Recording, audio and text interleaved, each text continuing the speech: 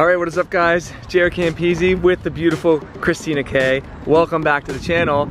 Today, we're gonna do something I've been wanting to do for a very long time, and that is teaching my girlfriend how to paddle shift in a brand new Audi R8. This is gonna be interesting, stay tuned.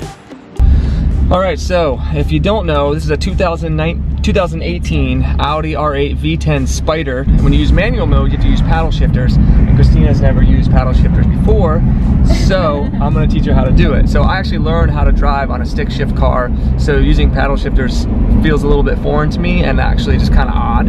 Um, and, it's, and, it's, pretty easy to do actually, so. It's easy. It is. As. I've heard. yeah, so um, with the Audi, it's cool, I'll show you here. This is the little thing that you have right here. Right now she's in uh, just regular drive mode dynamic. Um, if you tap this once, it puts it in the sport mode. And you can definitely hear the change in the, the exhaust. big time difference in the exhaust. And then so teens, if you want to put it in manual, all you have to do is tap the paddle shifter and then you'll be in manual. One, or should I, go I would go, I would go down, use the downshift, left. Okay, so now you're in manual, okay? Manual, okay. Yeah, so now if you want to shift, all you have to do is just tap the right hand side to go up. Yep. It's crazy, I don't have to take my foot off the. No, you can no, you can have it on or off. It doesn't matter. Usually it's on the gas if you're upshifting, and then off the gas if you're downshifting. Does that make sense? Okay. Yeah. Okay. And then it'll rev match and everything for you.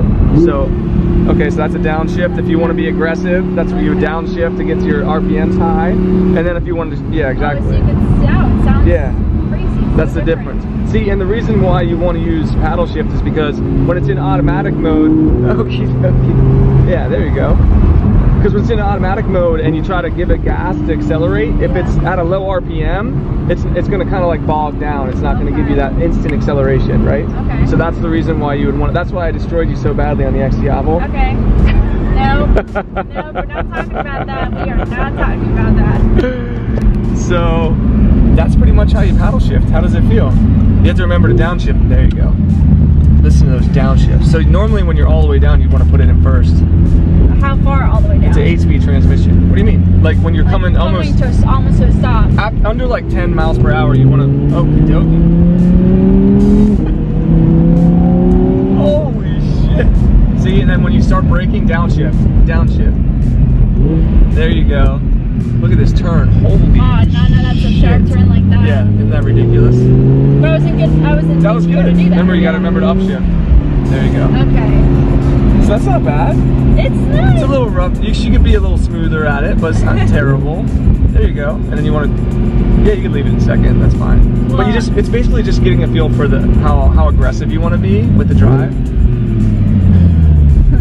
Sounds so That guy looked at So she's back in. There you go. That's pretty freaking awesome. I'm just gonna watch the uh, the RPMs, and that's basically what you're doing, teens. So as you want to be more aggressive, you keep the RPMs higher, and then if you want to be more chill, then you just shift earlier, right? It's called short shifting. It means you're shifting shorter in the RPM range. Okay. Does that make sense? Have you heard that term before? No. Oh, okay. So that's what it is, basically. Isn't it a lot more fun? It's more engaging, you know? It is. It So- keeps you. Oh, yeah. See, that's what's amazing. Yes. Is that what you want? Yes. That's that's awesome. That's what the that's what this thing is made for. okay. I I forgot who I was in first. I don't know what that was. But yeah, so this is a naturally aspirated V10. So that's why you get all those awesome pops and crackles and stuff like that because you're not waiting for a turbocharge or a supercharger to spool up or anything like that. You get instant torque, instant power, and it's so much freaking fun. You're good.